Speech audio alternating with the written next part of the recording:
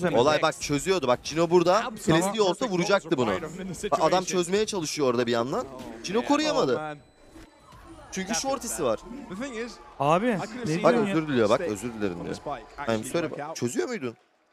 Short klasik alsaydın keşke. Abi ne diyorsun? Navi aldı, Navi skoru. Ne anlatıyorsun ya sen? Nasıl ya? Navi aldı skoru, öbür adam oldu zaten.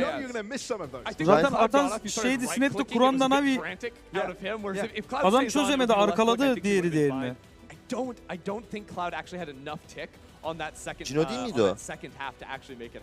Jet olan Cino değil miydi? Oğlum nasıl ben maç mı izliyorum ya? Ciddi mi diyorsun şu an? Abicim 4-3